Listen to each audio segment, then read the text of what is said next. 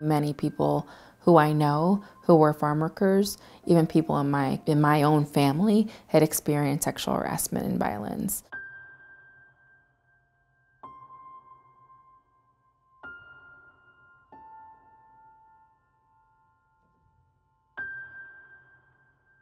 There just were no services to help people with that problem.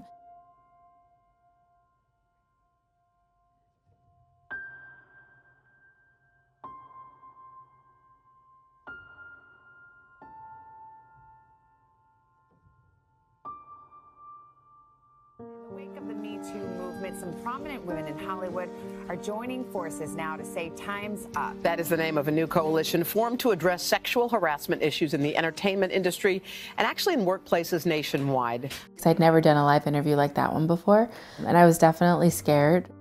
There was a point in the interview when the reporter said something. I think it was well intentioned, but it just came out the wrong the, way. The Hollywood actresses in that industry, which you think of as a high profile industry, mm-hmm. and women who do have a lot of power. And yet the focus here now through this Time's Up campaign is for women who don't have that power. Women just working in. And even though I was completely terrified of that interview, like that comment just like struck me in a way. It just didn't sit well because I feel like that's been part of the the the misconception about farm worker women and other low, low, paid women. People think that farm worker women are not powerful. Farm worker women are very powerful and have been organizing for a long time around this issue. And we have the experience, not just of having suffered from this problem, but we also have the experience of years of organizing that we mm-hmm. wanted to bring forward mm-hmm. to support the women in Hollywood. To some people, the movement in their eyes began on January 1st, 2018, when Time's Up was announced, or maybe something, some think that the movement began on October 15th of 2017, when the Me Too breakthrough moment happened. But the truth is that there have been many people who've been working across the country on anti-sexual violence measures for many, many years. Tarana Burke started her project in 2006, long before the breakthrough moment. Farm worker women as a movement have been organizing around that issue um, for more than three decades. There are also women in hotels and janitors and, and so many other industries that have been mobilizing to try to combat the problem because it's something they experience every day.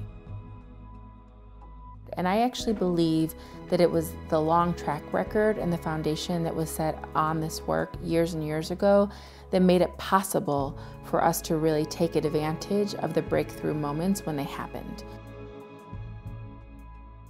There's a misconception that in movements, all the work happens at the national level.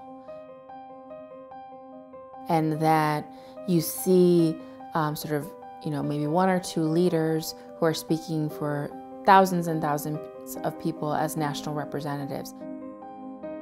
But what you don't see is the groups of five and ten people who are gathering in their local coffee shop or who, you know, are pulling people together to, you know, carpool to go to a bigger city, to go to a march, etc. And the work that we're doing locally, we're connecting it with the work that we're doing nationally.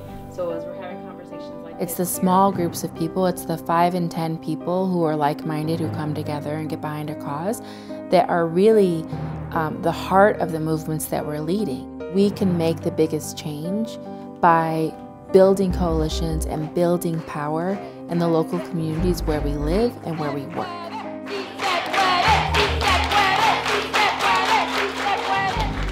And if we can make change at the local level, then we can help drive change at the national level.